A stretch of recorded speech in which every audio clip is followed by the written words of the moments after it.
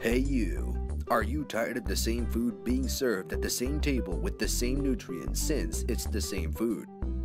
Do you want to try something new, exciting, and very unhealthy that it would kill you in the next 30 years because of diabetes?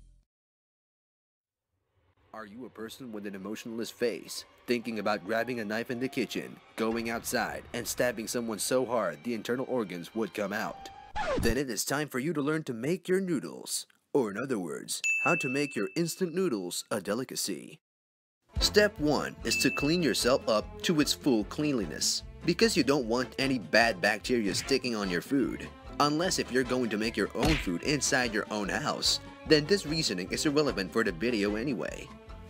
The next step is to gather your ingredients.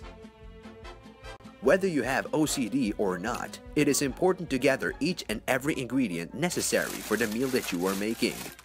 No matter how deadly and how unhealthy the ingredients are.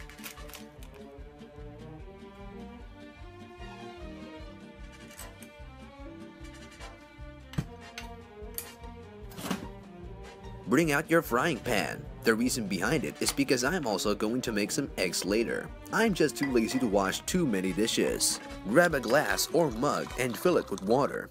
Pour two glass in the pan and let it boil.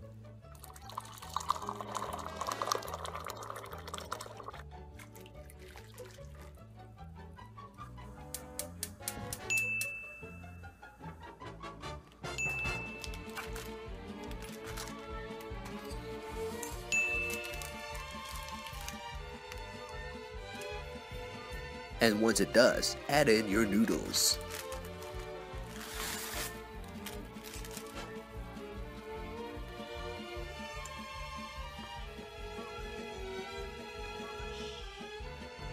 While the noodles boil, sneak into your neighbor's house and grab some Colby Jack cheese.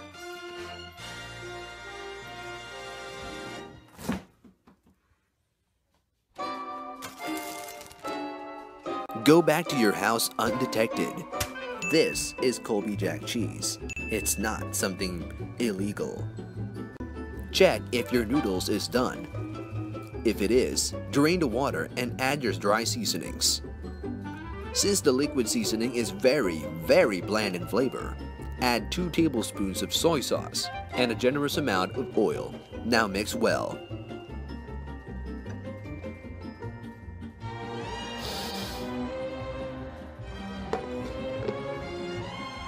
Put your noodles in the plate and add oil to the frying pan for the eggs. Now it's up to you whether you want your eggs as sunny side up, scrambled, omelette, burnt, crepe, it's up to you.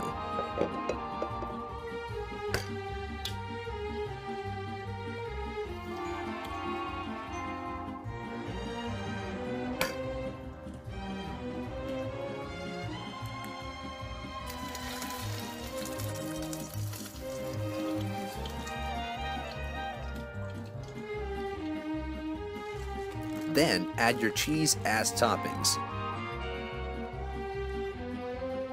Then toss it in the microwave to melt the cheese.